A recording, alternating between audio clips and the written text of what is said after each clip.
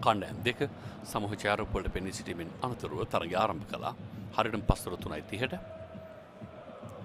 කුළමසුල් දස ක්‍රඩාංකනේදී අද මේ තරගේ ක්‍රියාත්මක වන අද තරග දෙකක් පැවැත්වෙන දවසක් සුපර් ලීග් තරග මාලාවේ ප්‍රධාන විනිසුරු විරකොඩිගේ සංඥාවෙන් ආරම්භ කරන තරගය මූලික ආරම්භක සමයේදී මේ තමත්ම කදිම අවස්ථාවක් නිර්මාණය වුණා රත්නම් ක්‍රීඩකීන්ට නමුත් ඔවුන්ගේ අතින් ඒ කිලිහි ගියා. ඉන් පසුව මේ ගෝල් රකින් අමුර්ෂිට් තරගේ කැපිපෙන කාර්යභාරයකට කළ ක්‍රීඩකයෙක් ලෙස නම් කරන්න පුළුවන්. සෑහෙන අවස්ථා ගණනාවක් ඔහු විසින් හසුරුවාගත්තා මේ එවැනි තවත් අවස්ථාවක්.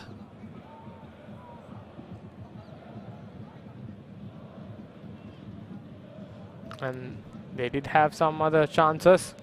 I think defenders were the team who looked like they are going to get a goal, but they couldn't.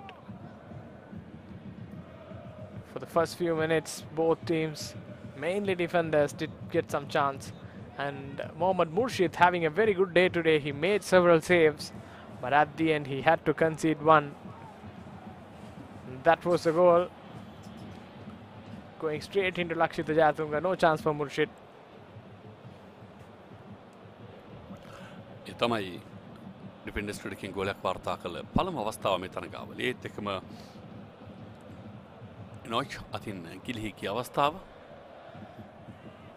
And that was the analysts just making their way and that was a replay of the second half. Enoch on the ball.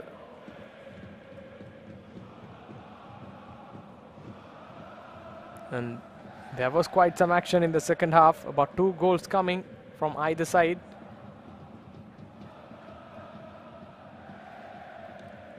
මේ රත්නම් කණ්ඩෑමට ලැබුණු දඩුවම් පහර පැනල්ටි අවස්ථාව ඒ තමත්ම හොඳින් සාර්ථක එකක් බවට පරිවර්තනය කරගත්තා. ඩිෆෙන්ඩස් කණ්ඩෑම අංක හත රිෆ්කාන් මොහොමඩ්. සම්පූර්ණම මොමට මුර්ෂිඩ්ව මුලා කලා හෝ.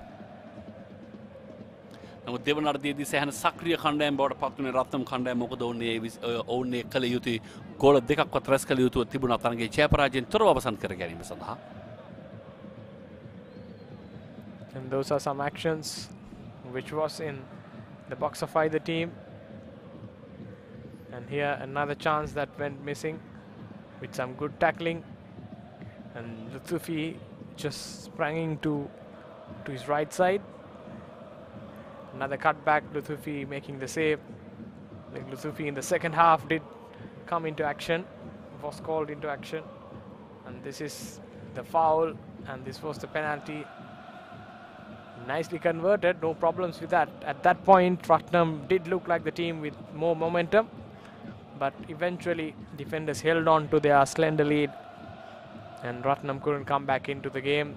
This was another good opportunity where Murshid just palming it out inches off the crossbar.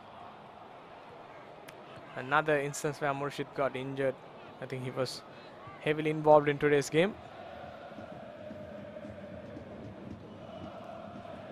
නතුර ආසන අවස්ථා කිහිපයක්ම ඩිෆෙන්ඩස් කණ්ඩෑමට ලැබුණත් ඔවුන්ටත් ඒ සාර්ථක කරගෙනට හැකියාවක් ලැබෙන නෑ කොඩගේ සංඥාව සමගින් තරගේ සම්පූර්ණයෙන්ම හමාර කෙරෙති. තරගේ ජයග්‍රහණය ඩිෆෙන්ඩස් කණ්ඩෑම රත්නම් කණ්ඩෑම් පරාජයට පත් කලා towards the end and the points table Seahawks come comfortably on top. Red Star 2 Blue Star in third place. Colombo FC fourth Upcountry Lions fifth.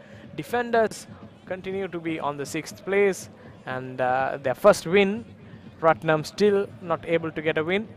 And Renown, Blue Eagles and New Youngs make the rest of the 11. Top scorers. And Mohammad Rahman of Red Star scoring 5. Ismail Abumare again from Red Star scoring 4. Mohammad Hasmir of Seahawks 4. Wasim Rasik 3. Motohiro Kanashiro of Seahawks also scoring 3.